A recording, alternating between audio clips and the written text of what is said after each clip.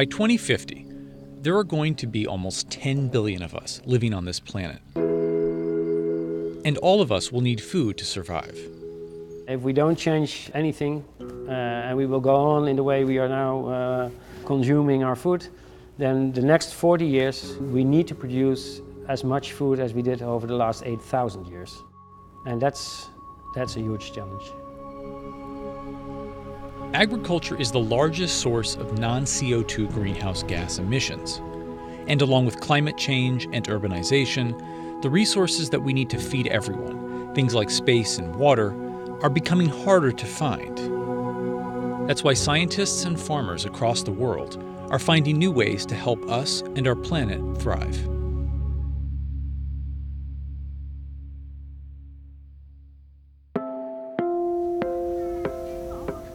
So you're now in the central area of the Netherlands.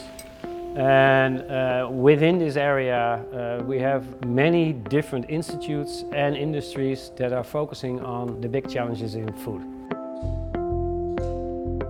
We like to study things in nature, try to learn from things in nature, and try to transfer this into solutions that can improve the quality of life of humankind. Wageningen University is known as the Silicon Valley of agriculture.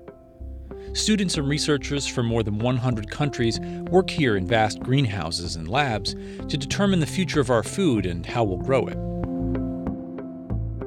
The Green Revolution in the 20th century started by a guy uh, named Borlaug, uh, and he was a plant breeder. And what I like about the story is that the guy got the Nobel Prize for peace, not for science, but for peace. And the reason was that he came up with new cultivars of wheat uh, that were able to produce more per plant. Uh, and in that way, uh, he could offer a solution for the hunger that was uh, quite important uh, at that time in Asia and in Africa. The bad thing was, of course, that these new cultivars also needed a lot of fertilizers, a lot of pesticides. And that's the reason why I think we, we need a new green revolution. We need to produce more per square meter, but at the same time, we need to use less fertilizer, less energy, less water. So more with less and better is really a summary of, of our research programs. Along with the driverless tractors and agroforestry being developed here at the university's research farm, the next green revolution could rely on optimizing the most fundamental process in every plant photosynthesis all life depends now on photosynthesis, so it's an essential building block of life.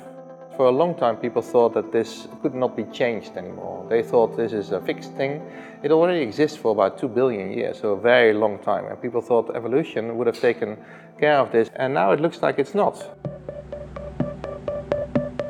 The team created a robot filled with cameras that can image plants while they photosynthesize, using a property called chlorophyll fluorescence. By examining photosynthesis at the DNA level, they identified natural genetic variations in the way plants handle light. That data can be used to breed crops which are almost 50% better at the process. Not only could that double yields, but the optimized plants will be more efficient with resources like water and nutrients in the soil. So, what the Green Revolution taught us how by changing the architecture of plants, we could harvest more of the plant, and that's probably saved the humanity from a lot of trouble. Now, this new step in looking at photosynthesis could mean the same. So, if we can improve with only a few percentages photosynthesis, we would also be able to improve uh, plant productivity. And if we can do that in a sustainable and, and durable way for a long term and making it available to a lot of people by just increasing one trait, then would give us a, a tremendous boost forward. On the other side of the world in China, improving food production to feed its 1.4 billion people is already an urgent problem. 中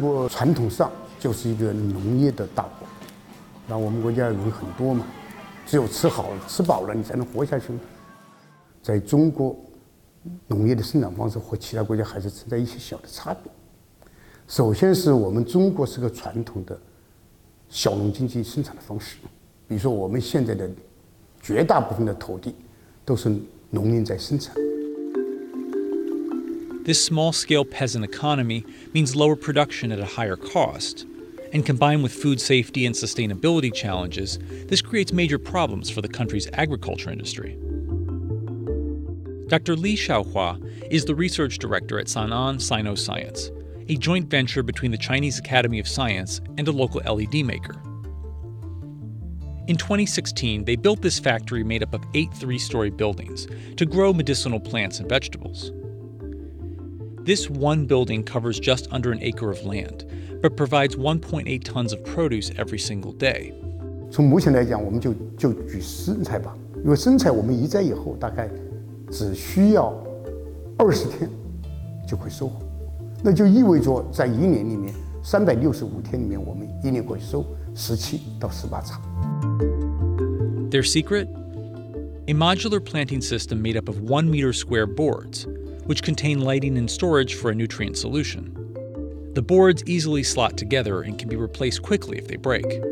啊，这个系统它因为它一个就是说成本会大幅的降低，因为我们现在这个成本是用这个 PP 塑料做的，对吧？它是食品级的，它安全性很高。 第二个呢，就是在我们这样的这个模组里面，它安装很省事，它是就像我们一个乐高玩具一样，你可以，我们这个小孩玩的乐高玩具，一个普通的人就会去进行装，所以应该说我们省工啊便宜，是吧？这是应该是有很大的创新。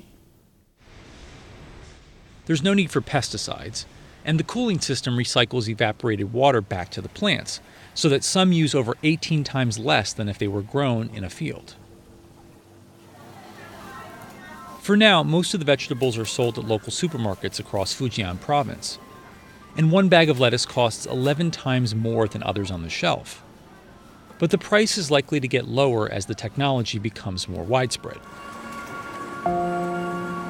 从我个人想象啊， 未来的农业的形势大部分都可能是在植物工业化这一定是一个大的发展趋势，它一定是一个生产成本并不太高，但生产条件很稳定，它生产的品质很好，啊，不需要很多的农民，一定是这样的农业。